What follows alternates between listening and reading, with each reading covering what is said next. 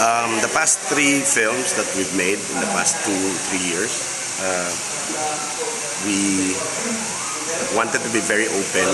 Uh, I mean, on the creative side, I really want to be open to working with people who don't normally get chosen for a. Uh, you get what I mean?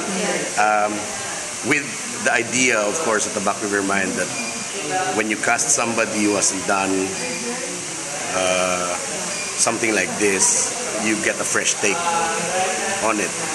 Of course, it could go really, really weird and far-fetched and you say, oh my God, uh, what a disaster, di? Pero uh, personality also helps.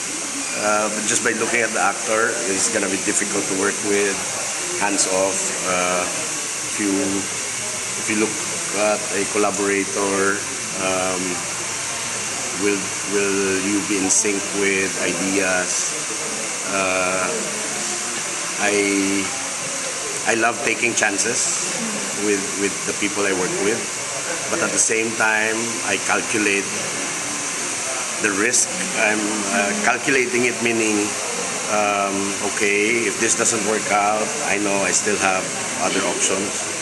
I mean, I, I don't just go out and recklessly invite di ba, a weird bunch of people to make a movie and then hope to God it, it gets finished the way we wanted it.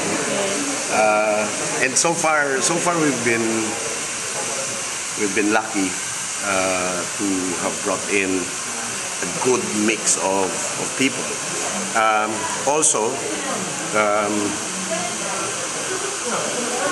and in relation to the first question also, um, a lot of it also has to do with um, trying to progress, to be progressive about your work. If you, uh, I, I discovered that if you stay with, a, I used to stay with just one team of guys. Uh, that was 10 years ago, uh, 10, 12 years ago. I used to keep my own staff. I, I don't work with any assistant director. I don't work with any other uh, PD, DOP. I always work with the same guys. The tendency there is uh, because you develop a kind of trust together. The tendency there is one, uh, the group does not evolve and are not open to and will not be open to new ideas. It seems like every time you talk, you've second guessed each other already because you know how each other, how each of you think. Uh, but by casting, quote unquote, but by casting uh, new guys you haven't worked with, uh, you, you get a fresh influx of ideas. No? And of course, I, I think it's the security also of the filmmaker saying, okay, uh, I don't mind getting your idea or your idea. Uh, it doesn't, um, I, I don't lose out of it. Yeah. you know, because some could be really selfish about I want to be in full control. I've thought of everything, but you can't. You can't possibly think of everything. Uh, impossible, impossible talaga. And sometimes you end up uh, giving credit to yourself too much. Yeah. Na, but in the end, uh, when you when you see what happened in the process, you find out hindi naman siya in full control. No? Parang, uh, he's been getting all the ideas from other people as well.